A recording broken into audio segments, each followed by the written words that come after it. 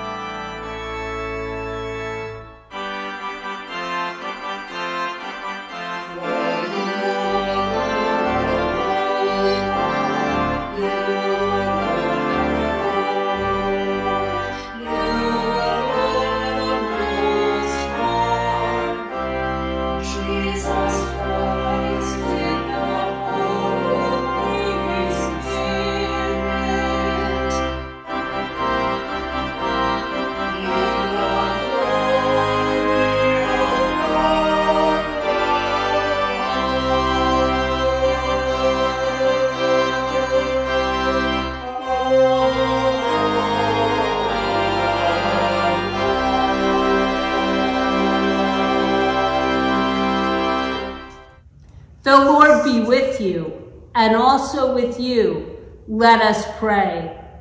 Almighty God, whom truly to know is everlasting life, grant us so perfectly to know your Son, Jesus Christ, to be the way, the truth, and the life, that we may steadfastly follow his steps in the way that leads to eternal life through Jesus Christ, your Son, our Lord, who lives and reigns with you in the unity of the Holy Spirit, one God, forever and ever. Amen.